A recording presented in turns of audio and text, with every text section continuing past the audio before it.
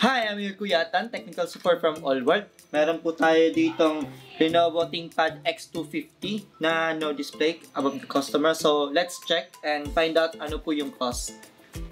Ito po, Lenovo ThinkPad T250. We will check now ano ba yung problem po niya. First plug and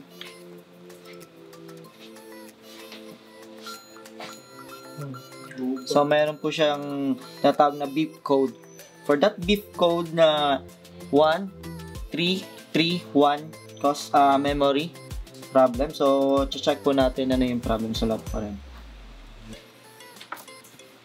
First, before natin i-open to, remove the battery.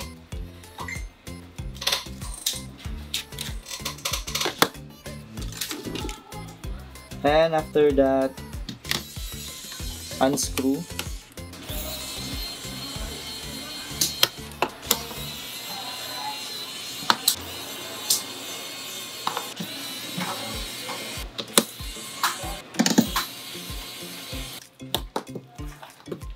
and then carefully lift up the cover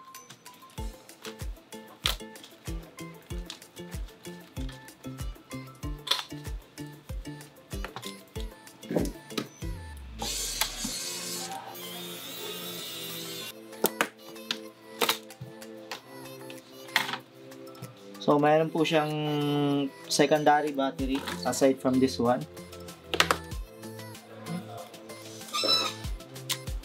Unplug.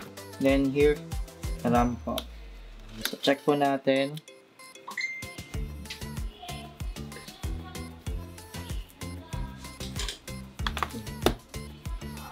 So check natin i-clean.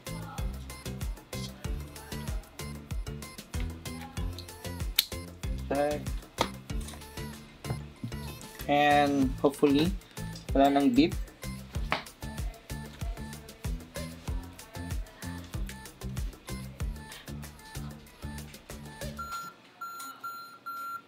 So, meron pa rin siyang beep. We will try now to replace the RAM. So, meron tayo ditong DDR3 RAM. We'll try replace new one.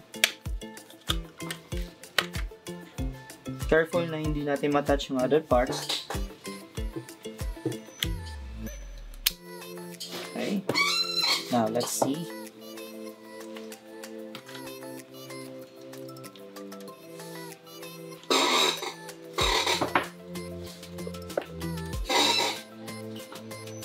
Okay. As you can see, the problem is the RAM, the DDR3 RAM.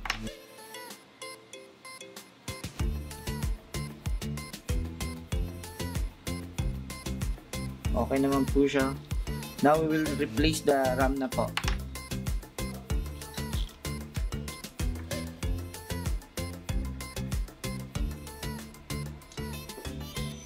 Turn off.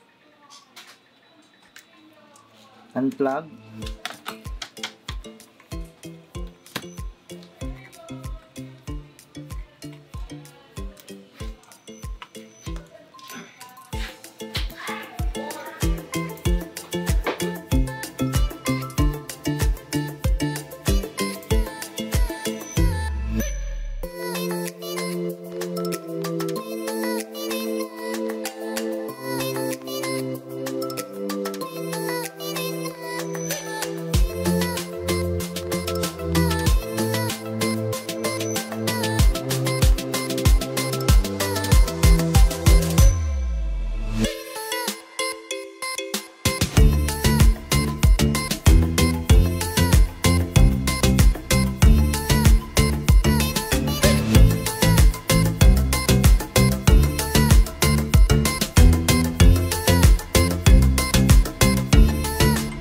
And now, using Lenovo Diagnostic Tool to check if other problem naman po, pass naman po siya lahat and even the new memory card na nilagay natin is already passed.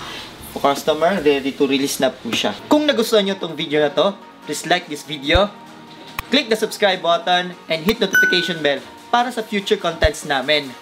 Ako pala yung Kuyatan, and see you next video.